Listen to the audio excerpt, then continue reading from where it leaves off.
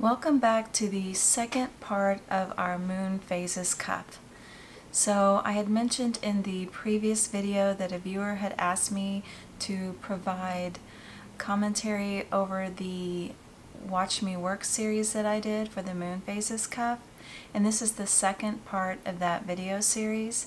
If you haven't watched the first, I highly recommend that you go and take a look at that one before you watch this one.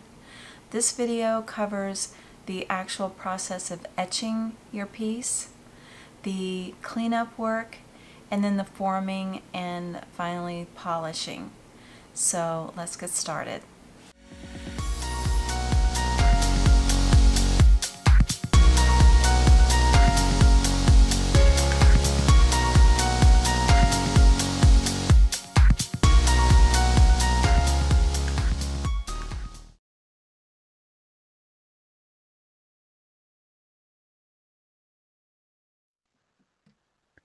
You can etch sterling silver using a chemical called ferric nitrate. I get my ferric nitrate from a company called Science Company, and you can find it online. And I get the 500 gram bottle. You can see that it is a kind of a purple crystal. And you mix this with water to get your etching solution. There's also a way that you can electro etch, but for my process, I just use the ferric nitrate. Ferric nitrate will etch sterling silver, but not copper. For copper, you want to use ferric chloride. So I've mixed some up already and I keep it in a container, a plastic container. I use this particular container because I can suspend my pieces in it and I typically can use it over and over for quite a long time. As the chemical gets diluted, you will find that it takes longer to etch or it doesn't etch as well. I start this by putting it in a hot water bath to heat up the solution. You could probably also use a crock pot, but I just find it just as easy to put a pot in my sink and fill that up with hot water. My water gets very hot. So I just fill my pot up with hot water and put the container with my ferric nitrate solution in the hot water bath and let it heat up. I usually let it heat up while I'm putting the resist on the back of my piece, but I've already done that, so I'm going to go ahead and fill this up and let it set for about 10 to 15 minutes before I get started. I didn't mention this earlier, but the formula that I use for the etching solution is 400 milliliters of distilled water to 300 grams of the ferric nitrate. You always want to add the crystals to the water, never the other way around.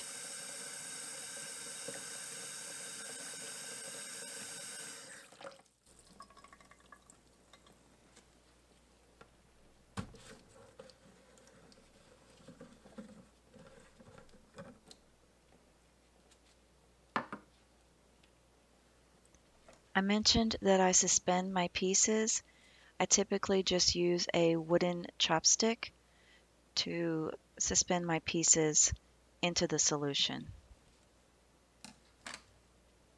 Now we will just wait for this to warm up. This is the piece that we applied the resist to in the previous video.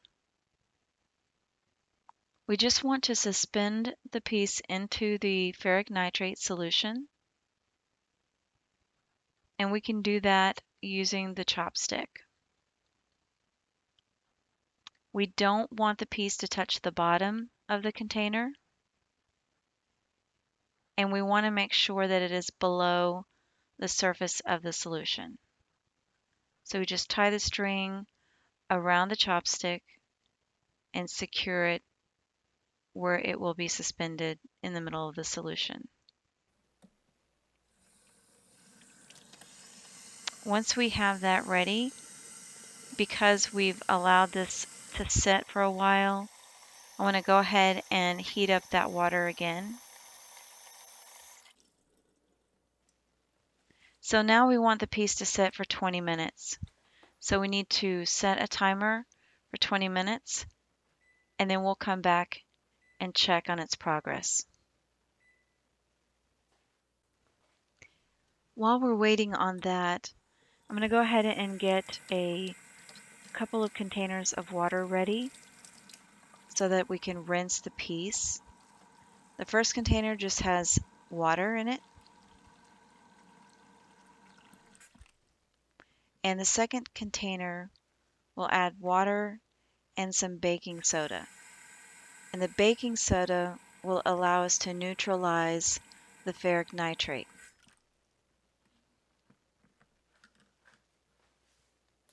And you'll find that you use baking soda a lot, so you might as well keep a big box. So just put a couple of scoops of the baking soda in the water.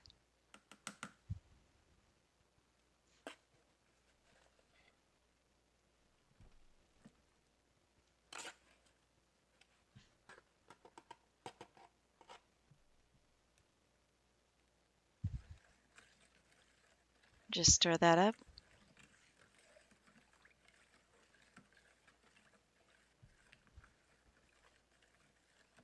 and we'll be needing that later.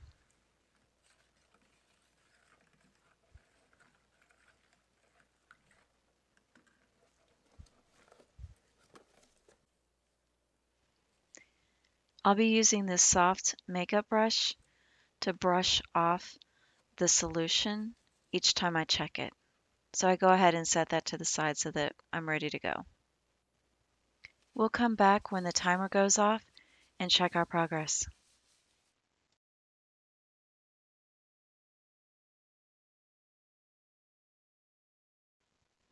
So we can just remove it from the solution and using the soft brush that we have, we just gently wipe off the solution. We do this to remove any residue that has collected on the piece, and this helps to get rid of the striations that sometimes occur.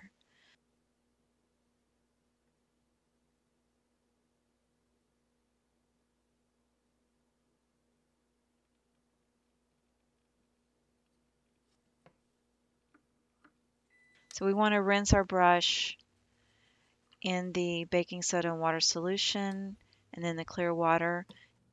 At this point, I'm going to heat the water back up again.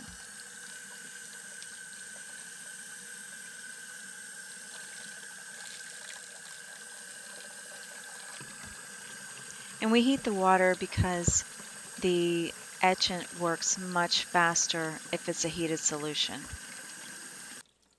Now we can go set our timer for 20 more minutes and we'll check back on the progress.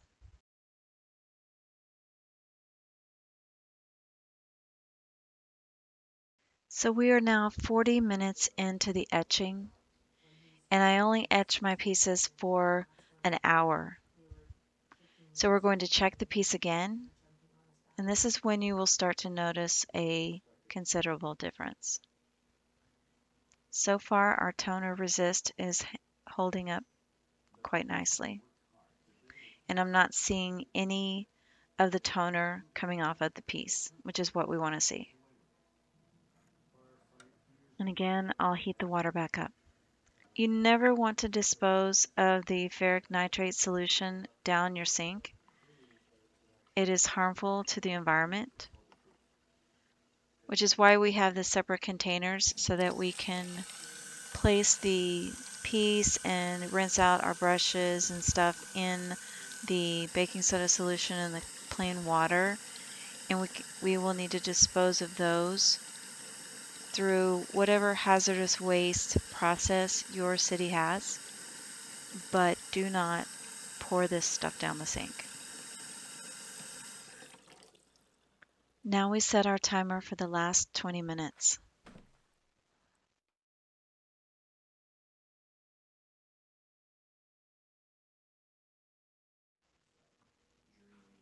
So that was the last 20 minute session for the etch. And now it's time to check and see just how well our etching did.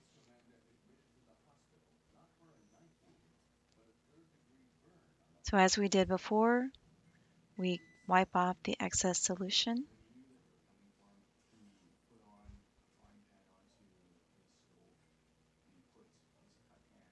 And our toner held up through all of those etchings.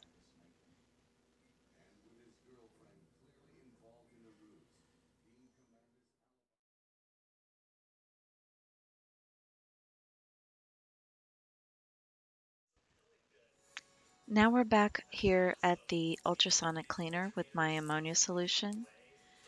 I've cleaned the piece, I've dried it off.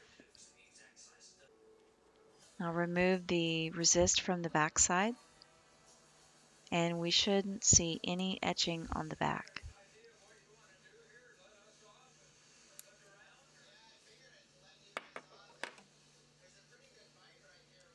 And that did a really good job. That vinyl did protect the backside. So now we want to remove the toner, the remaining toner from the piece. And we can just dip it in our heated ammonia solution and use the soft brass brush and just give it a good scrub. And that should remove the toner. Might take a little elbow grease, but you should be able to remove it all. Now we can begin our finishing work.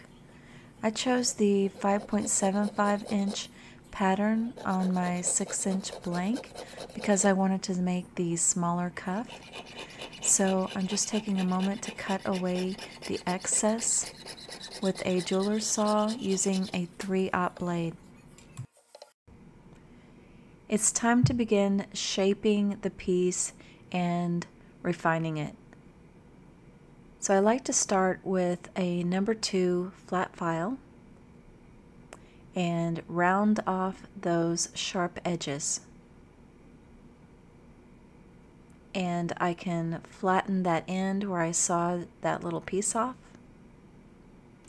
And once I get all of the edges rounded, then I'll switch over to my number four ring file, which is flat on one side, rounded on the other but I'll just use the flat side to refine those edges some more.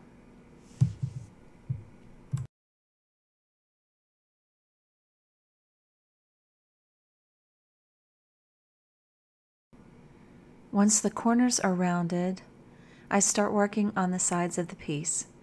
Because I didn't mask the edges, the edges are a little rough, so I just take some time to run those edges along my flat file and then come back and refine it with the ring file.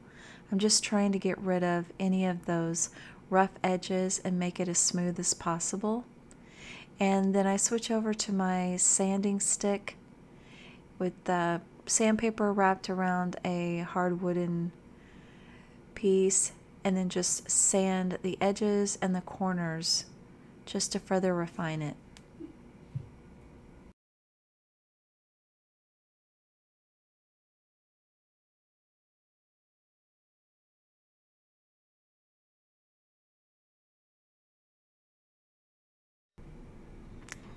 Once all of your sanding is done and you're satisfied with how the piece looks, then it is time to start forming. But before we do that, we need to make sure that our metal is nice and annealed because we're going to be shaping it around a die. So get your torch, whether it's a butane torch or an acetylene torch like I have here. Just heat that up until you get that properly annealed. And one little trick that I use is to mark the piece with a Sharpie. And when that Sharpie disappears, then you know that you've brought that up to the correct annealing temperature. And then let that cool for just a moment. And then you can put that in the pickle pot to get rid of any oxides that have occurred from the heating process.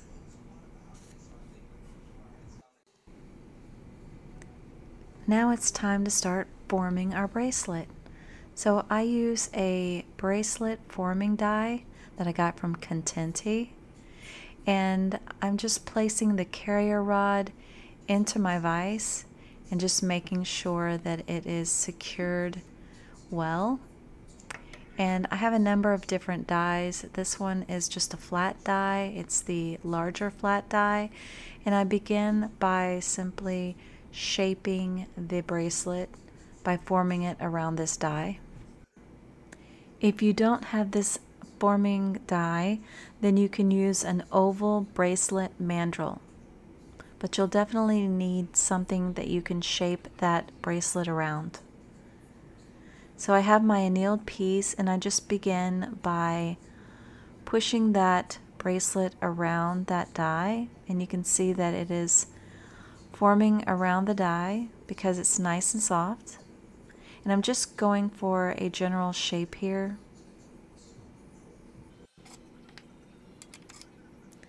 I can then switch out to my concave die.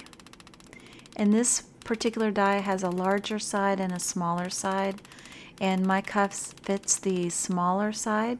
So I just take my nylon hammer and I start to form that piece around that die. Just gently tapping around to make that concave shape. You may have to go over this several times to get the exact shape, but just keep working at it until you get a nice uniform shape around that die. If you're interested in getting one of these bracelet forming dies yourself, I will leave a link in the details section for the particular one that I ordered from Contenti. Now that I'm happy with the shape, you'll see that it's a very rounded and I need a more C-shaped cuff. So this die comes with a smaller concave die and so I take that smaller die and I start to concentrate on each side of the cuff. You'll have to play around to see what's the best place to start using this die, but it's about the last quarter of each side that I focus on and I'll get a more C-shaped cuff instead of that rounded cuff.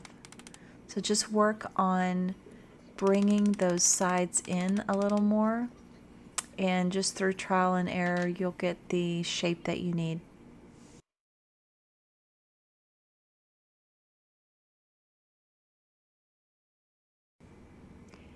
We're getting to the final stages now.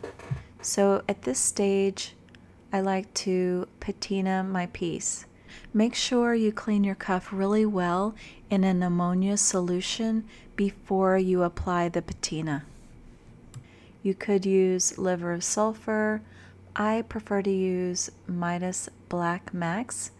I get this from Rio Grande.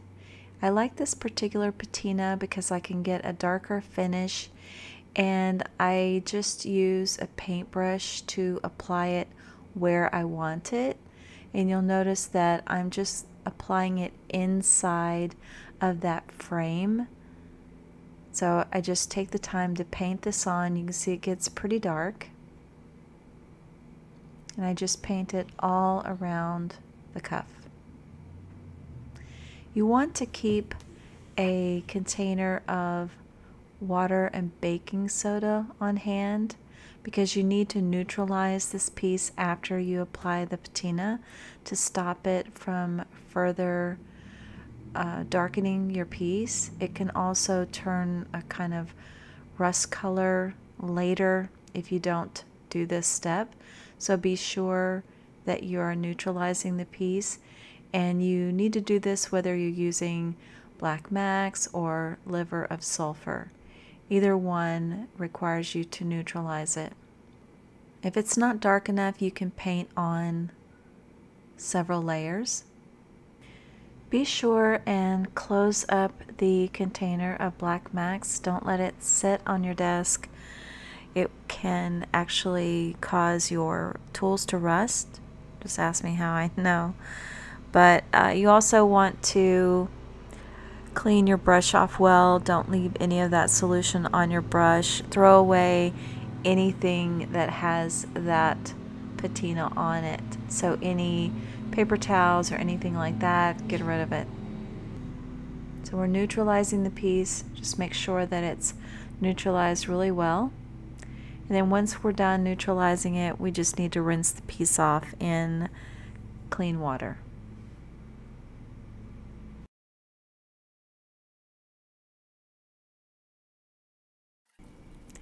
After you have neutralized your piece, rinsed it really well, and dried it off, you can go in and remove any of the patina from those raised spots.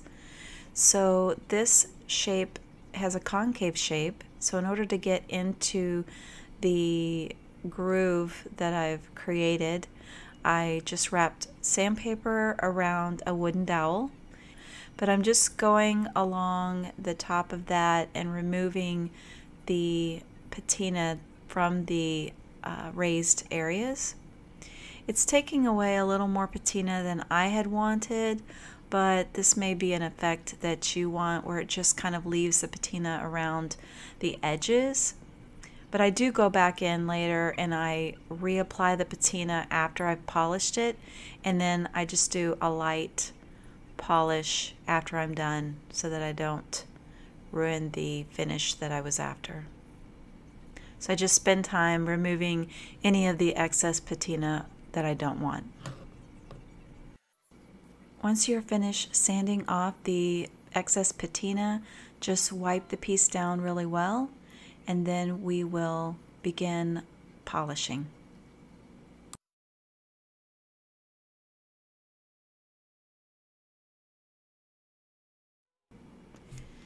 I have a JoolTool that I use when I'm polishing my pieces. But if you don't have one, don't worry about it. You can use something like 3M polishing papers and just go through the progression of papers. And that will give you a nice, lovely shine as well. But to save myself some time and energy, I go ahead and use my JoolTool. I'm using a inside ring polisher for the inside of this cuff. It works really well and I use a polishing compound called ZAM. So actually it's like a buffing compound and it works really well as, as well. You can see it brings up a, a really nice shine. But I concentrate on getting the inside of that cuff polished first. And you'll have to apply some more compound as you go. And it is quite messy so don't be surprised if your fingers get black. When you're using this and polishing, it can generate a lot of heat. So you may have to use some alligator tape or something around your fingers. It especially does this when you're when you're um, polishing rings because they're smaller pieces. Just be careful not to burn your fingers.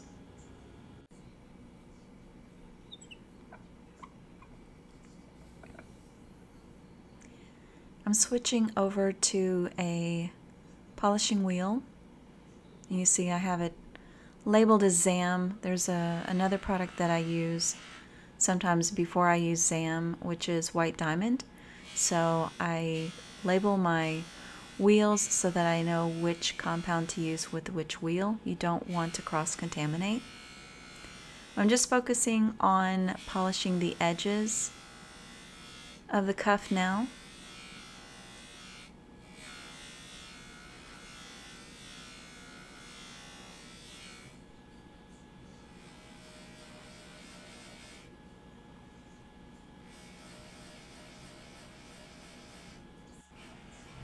And now I can start focusing on the top of the cuff.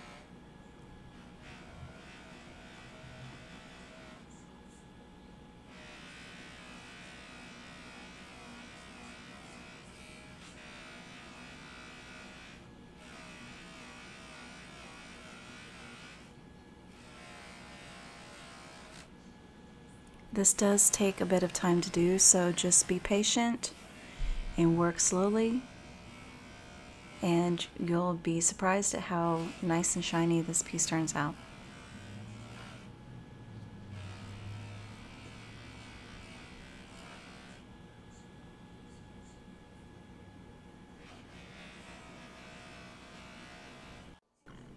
Once you're finished polishing your piece, if you used a polishing compound like I did, you will need to clean that piece off with an ammonia solution, a warm ammonia solution, and that will remove all of the leftover uh, residue that remains from that that polishing that you did. And then I just take a polishing cloth and polish it up a little further. And you see it's a nice shiny finish to it. I did lose all of my patina, so I did go back in and reapply that patina, and then I did just a light uh, polishing on the piece. I'll show you two examples of how you can finish out this piece. The first is what we went over in this video. It's got the concave shape and it just has a patina applied and then polished. The second example I actually set a moonstone where the full moon is and I didn't concave it. I hope you liked this extended version of the moon phases cuff. If you like these videos, please consider subscribing and be sure and hit the like button. Thank you.